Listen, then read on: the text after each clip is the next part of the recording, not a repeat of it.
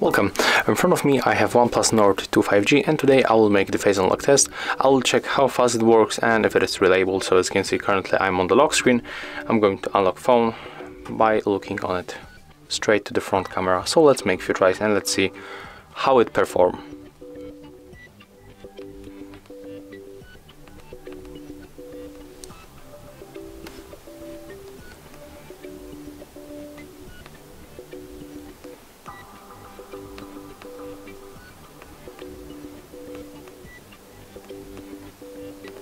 As you can see it works very fast.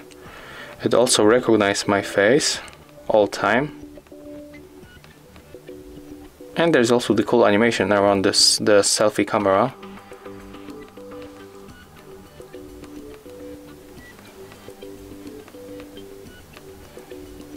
Oh, I just turned on the quick launch. Sorry guys, let's keep going.